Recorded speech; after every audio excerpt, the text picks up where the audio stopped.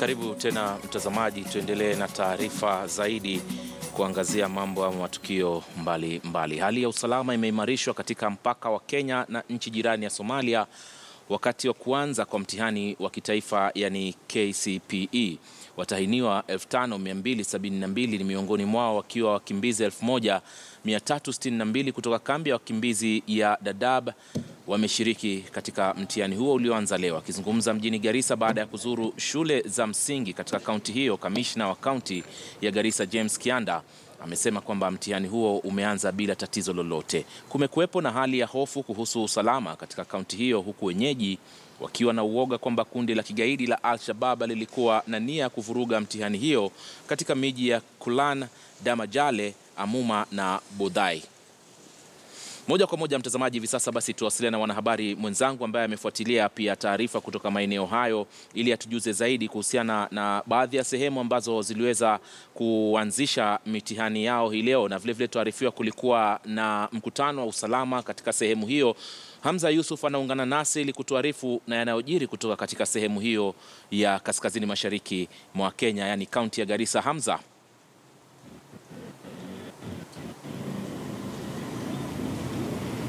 Nam, asante sana mwenzangu Ali Manzu. Eh, kwa hakika ni kwamba maeneo uliyotaja ni eneo ambalo linapakana na Kenya na, na Somalia, eneo la Damajali, eneo la Liboi, Huluko, eneo ambalo limekuwa na utovu wa usalama kwa muda. Kwa hivyo mara nyingi tunaweza sema kwamba eh, wa, maafisa wanaohudumu katika eneo hili wanakuwa mara nyingi na kibarua cha ziada kuhakikisha kwamba usalama umeweza kuhakikishwa katika maeneo hayo. Taarifa ambayo tuliweza kupeperusha mapema hii leo majira ya saa tano hivi kutoka kwa Wizara ya Elimu, hususan msimamizi wa Wizara ya Elimu Aden Abdullahi, inaonekana kukinzana kidogo na ile ya wasimamizi wa usalama. Kwa hivyo tuliarifiwa kwamba karibu shule tano zimeweza kufungwa miaka za awali, bali si mwaka wa 2017 kama tulivyoweza kupeperusha. Kwa hivyo ni taarifa ambayo tunazidi kuichambua, lakini kwa kuzungumza tu mengi zaidi, niko naye kamishna wa kaunti ya Garissa James Kianda, labda ambaye atatueleza hali ilivyo katika eneo hili kwa sasa. Labda tueleze tu bwana eh, Kianda, hali ya usalama iko vipi? Um, asante Amsa. Eh, kwa majina naitwa James Kianda, ni county commissioner Garissa. Hali ya usalama katika kaunti ya Garissa ni shwari. Hatuna matatizo, hatuna tisho lolote kwa wakati huu. Labda kwa kujengea tu taswira watazamaji ambao hawajui kaskazini mashariki e, uko vipi, kulikuwa na tishio kwamba hapo awali huenda mtihani ukavurugwa, ndio taarifa tuliweza kupata. Mnaweza tueleza nini, mnaweza thibitisha nini kufikia sasa? E, mambo ya kuvuruga mtihani, kawaida yetu kila wakati ambapo tunapata mpangilio kutoka kwa idara ya elimu sisi wana usalama huwa tunaketi tunafanya mipango pamoja na hawa kuhakikisha ya kwamba kila sehemu ambayo inafanyiwa mtihani tumeweza kuweka usalama wa kutosha. Lakini ni vizuri ijulikane, kwa sababu ya vile wewe mwenyewe umesema, ni ya kwamba tuko karibu na mpaka wa Somalia. Sehemu nyingi za shule zetu pia ziko kule. Kwa hivyo ile hali ya usalama ambayo tunapeana tuseme kwa tauni ya Garissa haitakuwa kama ile tunapeana kwa ile shule ambayo iko karibu na mpaka. Hiyo shule ambayo iko karibu na mpaka tunahakikisha tunaipatia hali ya usalama ambayo kidogo iko juu ili kuhakikisha kwamba hakuna tisho lolote litapatikana. Labda kwa kuuliza tu, shule ya msingi ya Fafi ile ya Madhahmarodhi e, na shule zingine kama Bulagolol tuliarifwa kwamba zimeweza kufungwa. Zimefungwa saa ngapi na ilifungwa kwa nia ya nani? Jambo la kwanza ambalo ni vizuri tufahamu ni ya kwamba hizi shule kwa wakati huu hazina watainiwa kwa sababu ni shule changa ambazo zilianzishwa hivi juzi na zijaweza kufikisha miaka nane ndio ziweze kuwa na watainiwa wa kidato cha e, darasa la nane.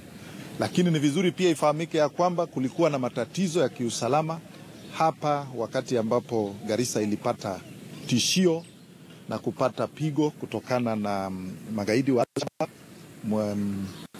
karibu miaka mitatu iliyopita na huo ndio wakati tunaweza sema ya kwamba kulikuwa na shule kadha ambazo zilipata matatizo, lakini baada ya wakati huo tumeweza kujikakamua vilivyo na tumehakikisha ya kwamba hizo shule kwa sasa zinaendelea na masomo. Asante sana mtazamaji. Huyo ni James Kianda, kamishna wa kaunti ya Garissa, akiwa pia na wenzake kutoka eneo hili uh, na, uh, kutoka vyombo vya usalama. Ni amethibitisha kwamba hakuna tatizo la usalama kwa sasa na mitihani zimeweza kufika maeneo ya mipaka. Pia kutoka kaunti ya Wajir na Mandera tunaarifiwa kwamba mambo ni shwari kwa sasa na tishio hilo limeweza kuhakikishwa kwamba limekabiliwa na vyombo vya usalama. Cha msingi zaidi ni kwamba wa, wa, wanafunzi ambao wana mahitaji maalum ama special needs kwa mara ya kwanza wanafanya mtihani katika kaunti ya Garissa hususan katika shule ya msingi ya Garissa. Ni matokeo ambao wengi wanaipigia darubini. Je, itakuwa ni vipi? Matokeo ya mtihani katika eneo la kaskazini mashariki, shule ya msingi na pia shule ya upili mara nyingi hudorora. Je, ni yepi ambayo yanachangia matatizo kama haya? Unavyokumbuka mtazamaji, walimu waliweza kususia kazi e, miaka miwili mitatu zilizopita, na mara nyingi inasemekana kwamba huenda ni kutokuwa walimu hao kwa shule ndio imeweza kuchangia eh, wanafunzi hawa kuweza mtihani labda yao matokeo yao kudorora. Ali Manzu. Naam, asante sana Hamza Yusuf kwa taarifa hiyo kutoka katika kaunti ya Garissa ambayo inaangazia maandalizi ya mtihani wa kitaifa katika shule katika maeneo hayo pamoja na kaskazini mashariki kwa ujumla, wakati ambapo tunapoangazia swala hili na vilevile tunaangazia hali ya usalama hasa kwa wakazi kutoka maeneo hayo. Kumbuka hili ni eneo ambalo limekuwa na uvamizi wa mara kwa mara hususan kutoka kwa wanamgambo wa Al-Shabab. Na huku mtihani ama mitihani ya kitaifa katika shule za msingi ikiendelea hii leo, baadhi ya wafungwa katika baadhi ya magereza humu nchini pia walishiriki kwenye mazoezi hayo ili kujipima akili. Magereza kama vile ya Naivasha, Embu na Kitui ni baadhi tu ya sehemu ambazo wafungwa wengine walihudumu walikihudumia kifungo cha maisha waki, walikuwa wanapewa fursa ya kushiriki. Huyo anahudumia kifungo cha miaka kumi baada ya kupatikana na hatia kwenye kosa la kumnajisi mtoto, huku msimamizi wa gereza hilo Charles Mutembei akisema kwamba zoezi hilo lilianza vyema, huku wafungwa hao wakiwa tayari kwa mtihani yao. Tuko na mzee moja ya miaka hamsini na mbili yule amefanya makosa ya defilement eh, lakini ameng'ang'ana sana and we are expecting him to do well.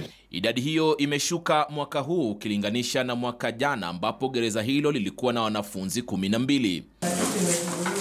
Katika kaunti ya Kitui wafungwa 14 ni miongoni mwa watahiniwa 36440 wanaofanya mtihani huo katika gereza la kaunti hiyo.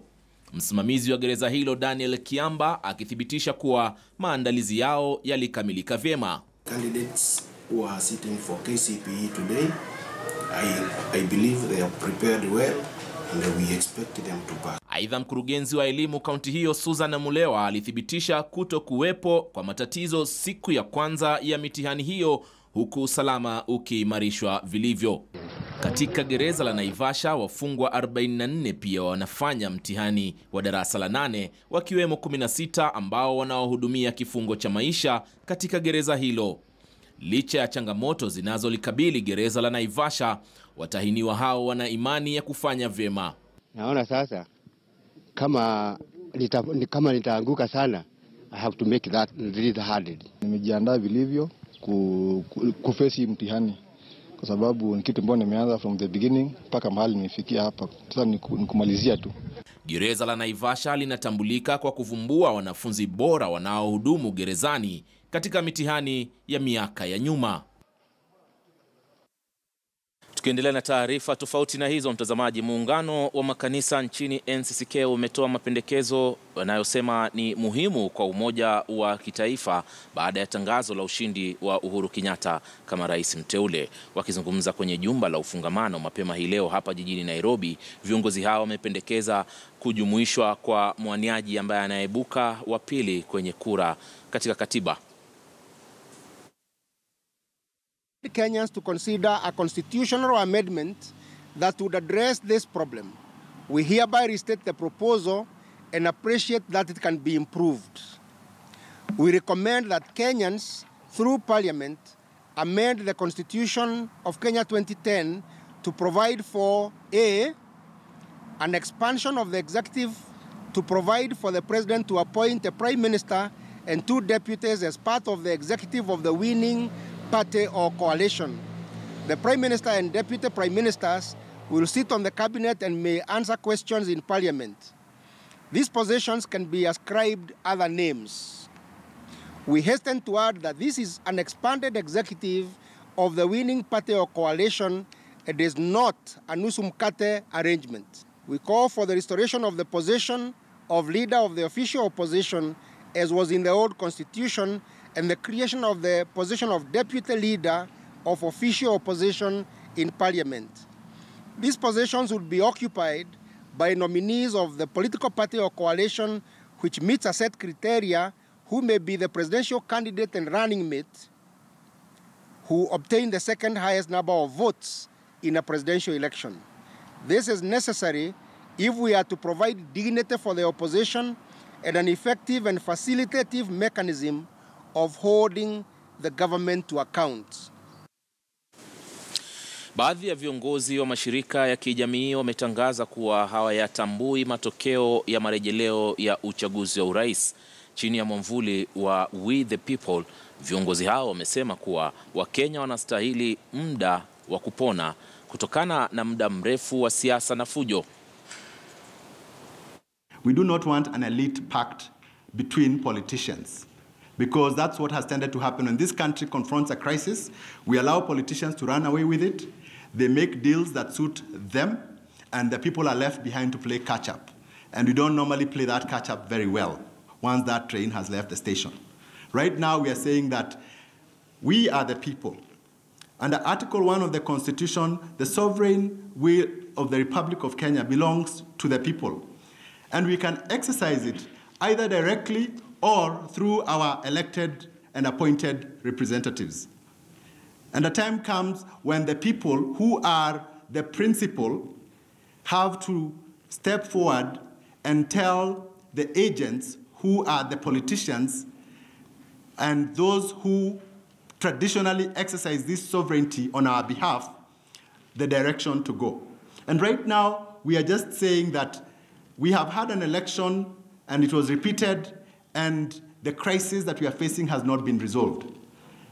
And we are saying that uh, the election management, management body in place right now is not one that can uh, uh, conduct another election. It will be the same as the last two.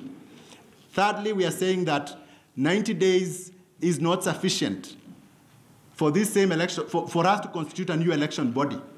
Then fourthly, we are saying in our estimation, we need a minimum of one year to put together an independent, credible election management body. Na hatimaye watu wawili wamefariki huku wengine 26 wakilazwa hospitalini katika hali, wakiwa katika hali mbaya kufuatia mkurupuko wa maradhi ya kipindupindu katika kaunti ya Embu. Wawili hao wanasemekana kufariki baada ya kuharisha na kutapika kwa muda mrefu walipokuwa wakipata matibabu katika hospitali za Siakago na Runyenjes Level 4. Akizungumza na wanahabari kuhusu hali hiyo ya afya, waziri wa afya katika kaunti hiyo Daktari Jamlek Muturi amesema kuwa watu 26 waliolazwa katika hospitali tofauti tofauti katika kaunti hiyo wametengwa ili kuzuia maambukizi zaidi. Kaunti hiyo imepiga marufuku uuzaji rejareja wa chakula kilichopikwa hadharani. Out of 26, 12 have been treated and discharged. And what we are doing as a county, the public health and the health personnel, the doctors and clinicians, is that once an, a patient reports to the hospital with the signs and symptoms, he is put, the tests are done and the treatment starts immediately. The contact persons, that is the relatives, they are given pro, prophylaxis drugs. Those are drugs that are meant to prevent any attack by the disease in case there was contamination. The homes are also uh, fumigated or treated so that at least uh, the environment is, is, is made uh, bacteria free. Na mtazamaji, basi kufikia hapa anatamatisha taarifa za mbiu ya KTN alasiri hii. Asante sana kwa kutazama, ila kwenye muda usiokuwa mrefu mwanahabari mwenzangu anakuja na taarifa za michezo kwenye Zilizala Viwanjani. Endelea kuwa nasi, naomba tukutane tena mwendo wa jioni, ambapo tutakuwa na taarifa kuu ambazo tumeweza kuzipokea siku hii ya leo. Naitwa Ali Manzu, endelea kuwa nasi.